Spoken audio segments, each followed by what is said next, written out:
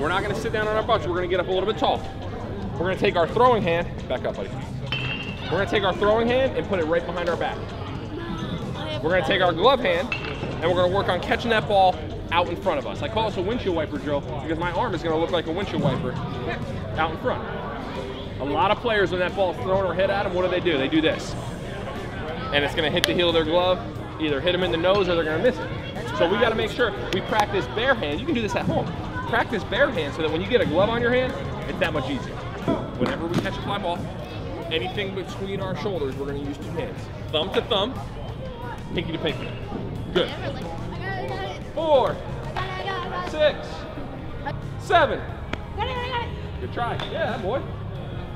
Six, I got it. three, I got it. Five. I got it. four, I got it. I got it. Two. I got it. seven. When I say go, we're gonna open up with our right leg and push off and start running. Run like your glove is part of your hand. I've seen every group so far, they run like this with a fly ball. If I'm running in a race, am I gonna run like this? No, I'm gonna run like this. Run like the glove is part of your hand and then reach for it. Go. Reach. Not bad. Keep those fingers up. Keep those fingers up.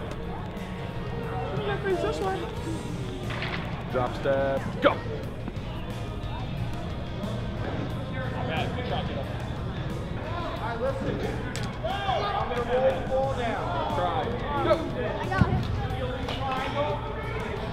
Nice. Last one, right? No, no, he didn't. Your last? Go. Fingers up, fingers up, fingers up, fingers up.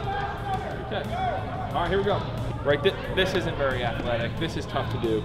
So we gotta make sure one hand outside our body, two hands inside our body. And you're gonna learn that right now when you're fielding ground balls. In between your feet, in between my shoulders, I can transfer and get it out with two. Outside just one. Make sense?